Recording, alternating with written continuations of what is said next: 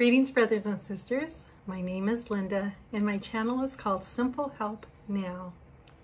I want to say thank you for listening to this channel.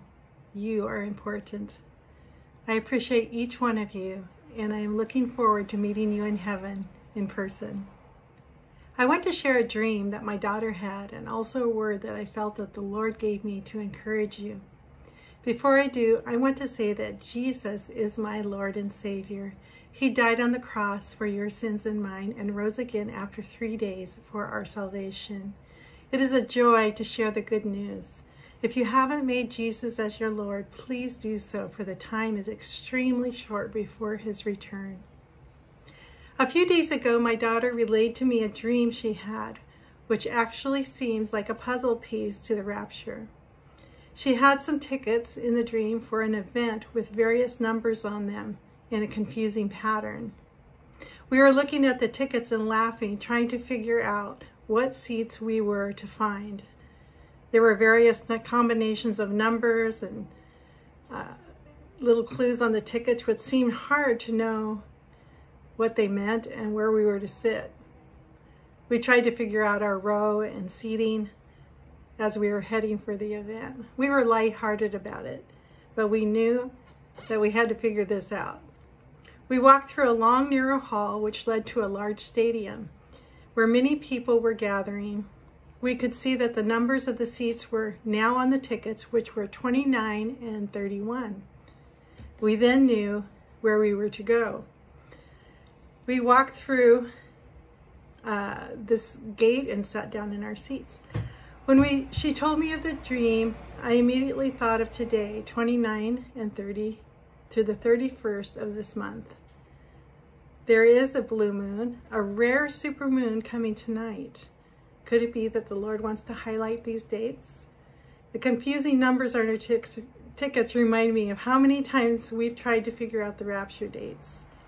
Many dates have looked promising, but passed by. I know that Jesus is coming soon. We who are watching are looking at all the dates that look like a possibility. I'm not saying it's tonight or these dates, but I will be watching. It also means something else, and I am pondering it. Meanwhile, I felt that the Lord was telling us to stay the course and hold fast to his word. He is shaking the world's systems, and at the same time, he is saying for us not to be shaken. That is only possible by holding fast and clinging to him. It reminds me of those baby monkeys clinging to their moms while the mom is swinging from tree to tree. God is moving and shaking, but we are to hang on to him like those baby monkeys do. I felt God gave me this word of encouragement, so feel free to test all the words. I am longing for him just as you are, and I'm trying to figure out how to cling to him with all my might just as you are.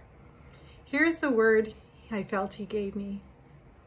My children, my beloved children, my cherished ones, hold fast to your faith and your hope of my coming, for I will not delay any longer. Be awake, with your garments washed in the blood of the Lamb, for the moments of waiting are passing into eternity. I am not slack concerning my promise the agenda of the evil one is going to be thwarted for a time when I come for my bride. But then evil will be unleashed on the world in furious retribu retribution. The season of transition is my grace as the multitudes are in the valley of decision. Come into agreement with my word and hold fast to your faith and perseverance. I will never leave you as orphans or unguarded to be snatched up by the ravenous wolf, your enemy. Put your hope fully on my word.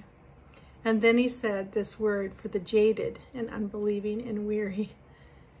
He said, The word of God is a fire and will burn the chaff with relentless fire, and the clarity of my salvation will remain. Trust me, there is only one work, one name, one salvation, the wondrous mercy of the cross. My love is everlasting and remains a testament forever. To the doubters, here's what I felt he said. Why do you know the truth yet remain skeptical and unmoved? Repent and remember my sacrifice. For those, he said, who are waiting diligently and looking for my coming, my reward is with me. Look for me in the clouds. You will be saved at my coming. Endure to the very end, my chosen children. Hold fast and let no one take your crown. And that's what I felt he shared with me. I felt that the Lord was reminding us to hold on, hang on. The ride is wild, but he will keep us safe until he appears. Jesus is who we are waiting for, for he will come and his reward is with him. His word is true. He is coming for us, maybe sooner than you think. Keep looking up with anticipation and hang on tight. I felt the Lord gave me a scripture to share also. 1 Thessalonians 3, 12 through 13. Maybe it's about our attitude and how we wait.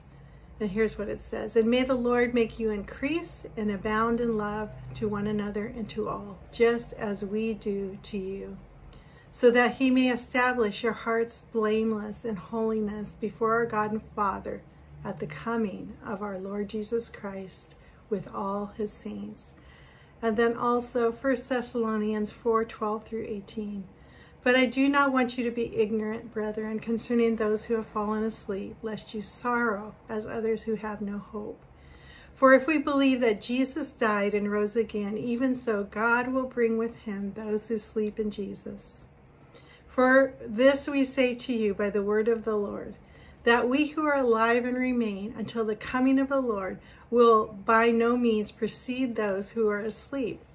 For the Lord himself will descend with, from heaven with a shout, with the voice of the archangel, and with the trumpet of God. And the dead in Christ will rise first. Then we who are alive and remain shall be caught up together with them in the clouds to meet the Lord in the air. And thus we shall be forever with the Lord. Therefore, comfort one another with these words. Hang on to these words. Let me know what you're hearing from the Lord in the comments. Looking forward to seeing you in the clouds soon. This is Linda with Simple Help Now.